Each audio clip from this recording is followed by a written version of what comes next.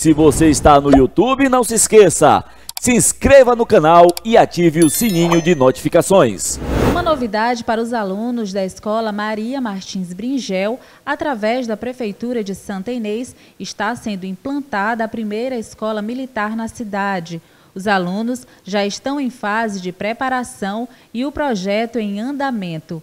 Segundo o tenente Almeida, da Corporação de Santa Inês, o colégio será implantado de acordo com os princípios militares e regras de disciplina. Boa tarde, primeiramente. O colégio vai ser implantado de acordo com os princípios militares da, da disciplina e da organização, certo? Primeiro momento, a gente está passando os conceitos principais de ordem unida pra, para os alunos e os, e os princípios basilares do militarismo, certo? E alinhado com isso, a questão da, da disciplina para ter atenção nas aulas. Esse é o primeiro colégio implantado aqui na cidade de Santo Inês, Maranhão, em parceria com a Prefeitura de Santo Inês. Tenente, o que significa esse primeiro contato com os alunos? Esse primeiro contato assim para os alunos é, é bem surpresa, eles estão muito surpresos com essa questão, entendeu?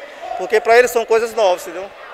E com o tempo eles vão aprendendo os principais movimentos, de, principalmente de ordem unida. O principal movimento de ordem unida que eles estão aprendendo agora, nesse momento aqui no colégio. E assim, os alunos estão, sendo bem disciplinados em relação a isso, estão mantendo uma postura em relação ao ensino, entendeu? E o principal foco que a gente está passando na questão do, do colégio militar é a questão da, da, dos alunos ter educação na, na, sala de aula, entendeu? Manter uma postura, entendeu? Uma postura de disciplina e organização na sala. Esse é o primeiro momento isso que a gente está cobrando na sala de aula. No caso, esse contato prévio é para a questão mesmo de adaptação dos alunos? Isso, adaptação dos alunos à rotina de um colégio militar. As aulas são alinhadas junto com, com a disciplina do, do militarismo, certo? Vai ser tudo são alinhados de, de, acordo com o planejamento do colégio. Já iniciamos dessa, dessa segunda-feira, agora nós já iniciamos o processo de implantação do colégio. Aí está sendo, tá sendo feitas as adequações corretamente, entendeu?